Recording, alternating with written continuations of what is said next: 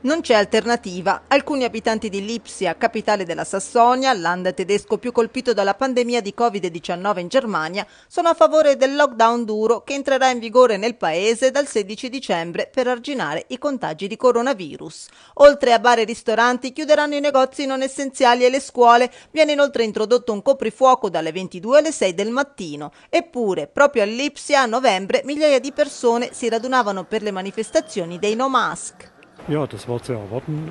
C'era da aspettarselo e credo che debba essere così, non c'è scelta, affermò un residente.